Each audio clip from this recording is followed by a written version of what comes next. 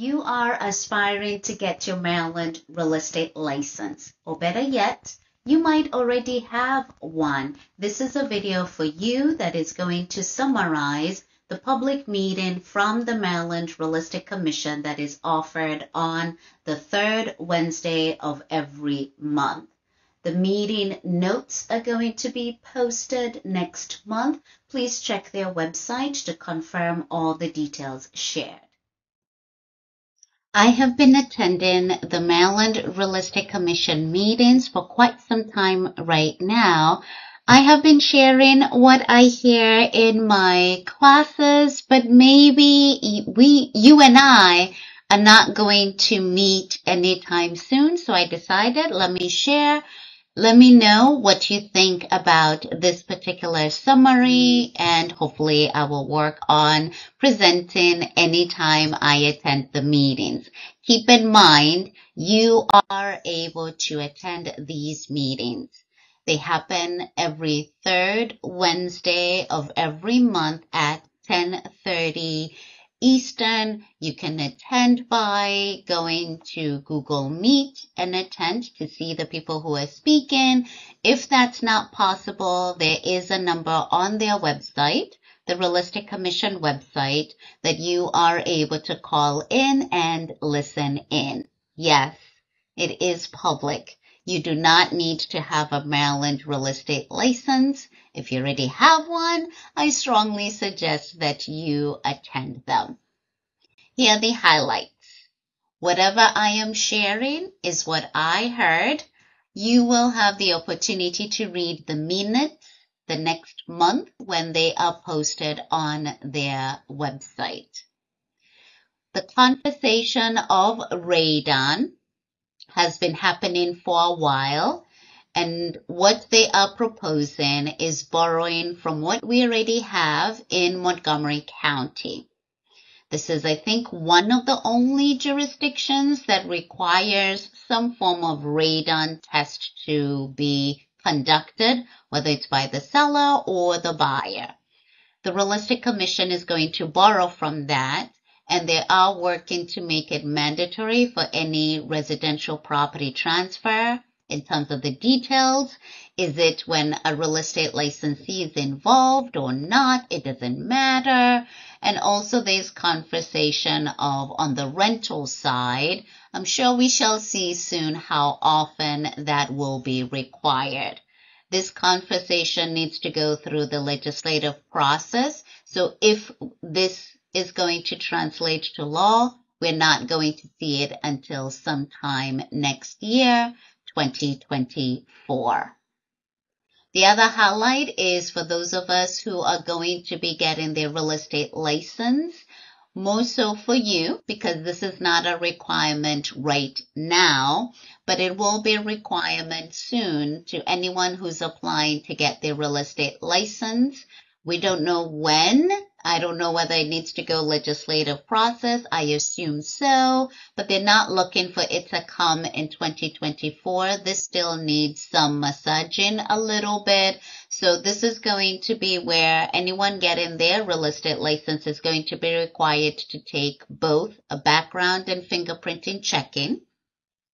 And they also is going to translate to us who already have a real estate license, this is going to be part of our renewal process in addition to completing the continuing education credits. The executive director will usually share the numbers. These numbers are usually interesting to me because it tends to show how many of us have a Maryland real estate license.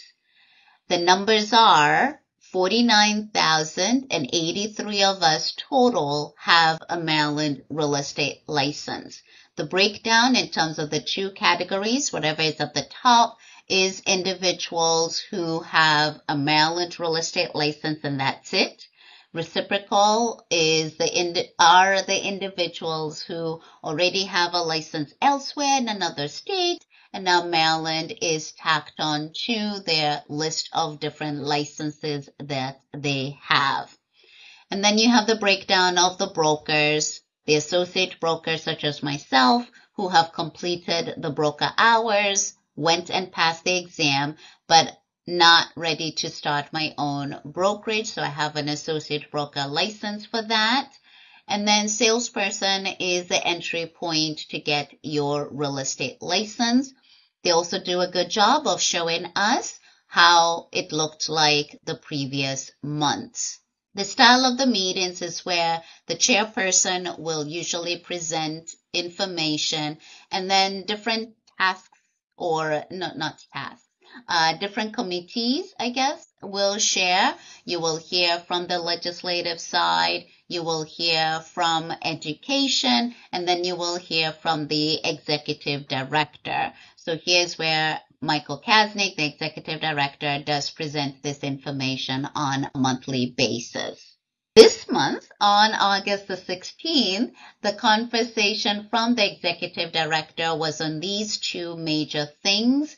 Again, this was not introduction to it at the August the 16th meeting.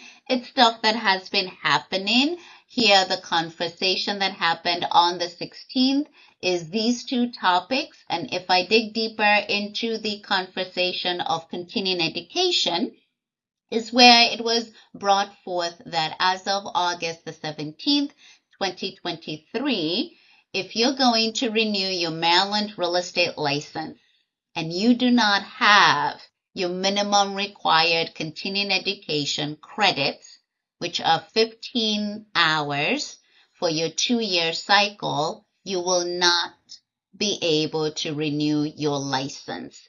Keep in mind, to be fair, we have two years it's only 15 hours. There are four mandatory topics, legislative updates, fair housing, code of ethics, and brokerage relationship and disclosures. And then we have the opportunity of electives, whatever other topics are of interest to you. So if you don't have the complete minimum, you will not be able to renew your license. The other continued conversation was about the fees. So fees is where we're talking about to get your new, your real estate license, to renew it, to change your location in terms of your brokerage or location, name change and so forth. There, there are those fees that are charged and there's a proposal to increase those fees. Now, what I don't know and I guess you'll read it in the minutes. Is this something that is passed right away or does it have to go through the legislative process? Someone will let me know in the comments, please. However, this is something that to those of us who already have a real estate license or for those of us who are looking to get one, something in the future to look out for. During the public session meeting here is the commissioners and the executive director will present and then they will have a spot for the public to contribute. Usually Maryland Realtors will have a representative to share. There are the largest real estate organization or association in our state. What that means is that from the 49,000, about 30,000 of us are members of Maryland Realtors. So they do have an opportunity to share what it is that they're seeing from their side. Disclaimer. This is conversation. So you will see it in the minutes and then you will follow up and track in terms of whether this happens or not.